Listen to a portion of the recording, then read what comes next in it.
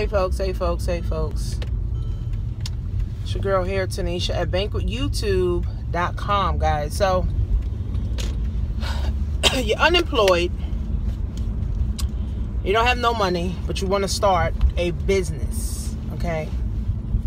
the thing is, when people play the victim of being unemployed, you know, they expect you know, everybody else. Not everybody. I'm not saying everybody that's unemployed plays the victim. But most people that are unemployed, they play the victim. Okay? They play the victim of, oh, I'm unemployed. Oh, I have no money. Oh, I don't, uh, you know, I can't, uh, you know, invest any money in anything, uh, you know, right now because I'm unemployed. You know, here's my thoughts on unemployment, guys. I was on unemployment for two years. Okay? And I spent all okay, all of my unemployment money on my business. Okay, I spent it all, okay, because I wanted this bad enough. See, it's not until our pain to change becomes stronger than our pain to stay the same.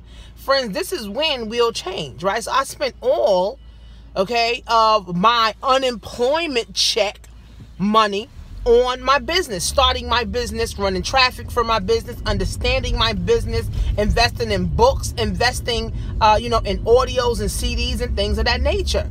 Okay, so if you want it, stop playing the victim. Stop telling everybody unemployed because reality is nobody gives a fuck. Nobody cares that you're unemployed. Nobody cares you're on unemployment checks. Nobody cares. Right? When you die, what are people gonna say? Oh, she was known for, uh, you know, always telling people she was unemployed. No, when you die, what do you want people to know you as? Right? What will be your purpose that you will be known for? Okay? Or you're just going to continue to be one of those people who hope and pray and wish because you're on unemployment and you make excuses of why you don't. All right? Why I don't have money, right? Then guess what? All those bags in your in your closet, all those shoes in your closet, clothes you got, you need to be on eBay selling the shit. Because if you really don't have any money, I know you got some valuable things in your closet, in your house that you need to sell to make some money where now you can have some money so that you can invest. Guys, see, here's the thing. We can make excuses or we can make reasons. Choice is yours. I'm making reasons why I want to be able to be great. I'm making reasons on why I want to be able to move forward in my life. I'm making reasons Okay? I'm making reason. I'm being inspired by my mentors. I'm being inspired by higher people, okay, that can lift me up. Okay? But if you're around the same old, same old people that's pulling you down, you can't be lifted up.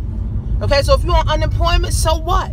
If you're unemployed, so what? And you want to start a business, you want to start an online, you want to make an excuse of, oh, I don't have the money, so I can't. I can't do it.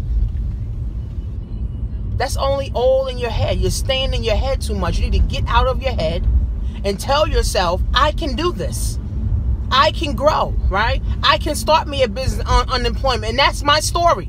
My story is while I was on unemployment, I started me a multi-million dollar business. But you got to believe that.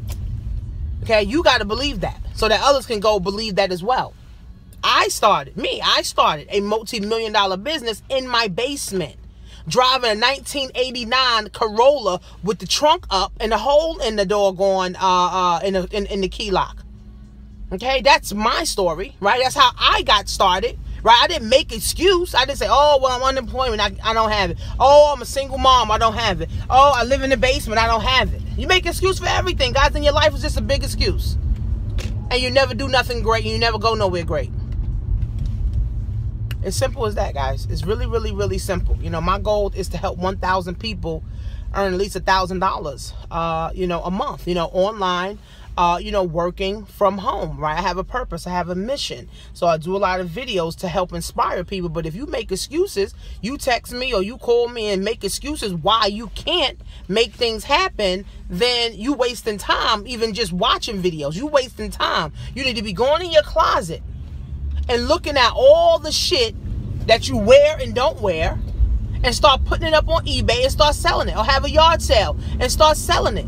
That's not bringing you any money. See, it's not until the pain, my friends, the pain to change becomes stronger than the pain to stay the same, this is when, my friends, you will change. But you got to, that pain got to be stronger. You got to be tired of making excuses. A lot of people not tired of making excuses. They keep making it. 20 years from now, they still making the same lame excuses. You got to, you got to say, my pain to change is stronger than my pain to stay the same. And I'm going to change. And I'm going to grab my life by the throat. I'm going to change. I'm going to make this shit happen. I'm going to make this rock. I'm going to make this roll. I'm going to do this thing. I'm going to be great. And go out and actually do it. Very simple, guys. I started my business broke in a basement driving a 1989 Corolla with the trunk up. I was hoping and praying the trunk didn't fly up at times because I didn't have I had a hanger that was holding it down and sometimes the hanger uh, you know would slip off and it would fly up as I'm driving. Okay, now I'm driving a Mercedes Benz E-Class in my two-family house. Now I'm a landlord, business owner, right? That made over a quarter of a million dollars from home. Those results are not typical. I was hungry. I didn't make no excuses. Right? I made it happen. Right? I sacrificed. I didn't eat. Okay? I wasn't sleeping. This how bad do you want it? You'll go make it happen. Simple, simple, simple as that, guys. You want to learn a new skill? Go to banquetyoutube.com.